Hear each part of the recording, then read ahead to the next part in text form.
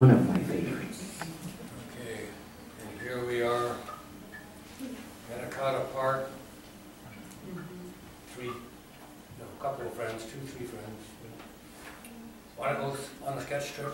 Sure. Here I am, perched in the sun, painting this. It's in front of me, I like that. It's just immediate, so much better in a photograph. And, uh, to me, it has no significance other than it's a bridge gets up.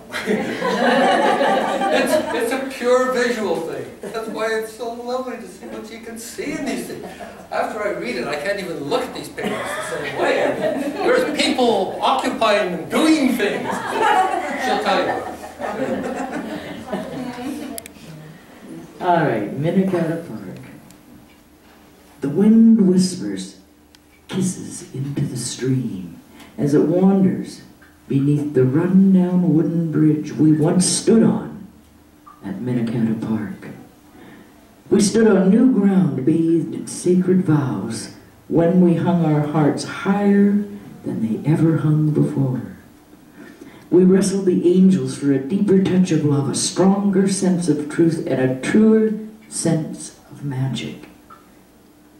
It slipped through our hands like sand, gritty, raw, abrasive, scarring the new ground, never to be new to us again.